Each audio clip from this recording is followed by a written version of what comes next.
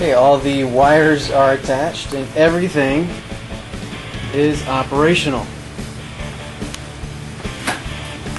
With a virtual reality set headset hooked up, the throttle fit nicely on top of the subwoofer, turns out. And it also makes those controls accessible. Here we have a keyboard mod. Uh, we still need to put a shroud around the uh, counter counterweight and uh, organize the uh, cables. But you see, it, it works. We're almost there. Here's our TrackIR system.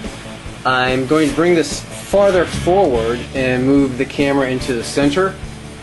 Uh, sometimes if you're looking over your right shoulder, the camera loses sight of the uh, reflector and that's, that's noticeable. Helmet's looking good.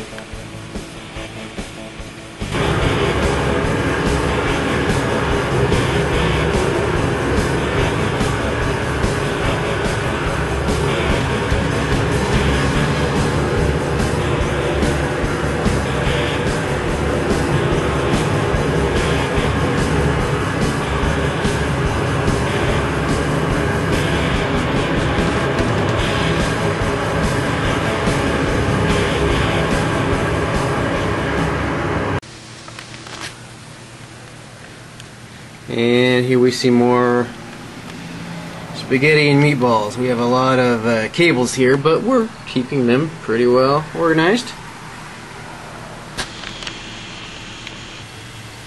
We cut a hole for the umbilical, and that's working nicely as well.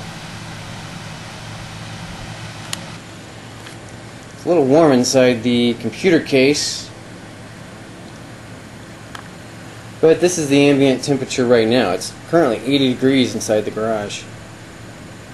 Uh, currently 78 degrees inside the garage. So we're running about 10 degrees warmer than ambient inside the computer. Or inside the, uh, the computer case.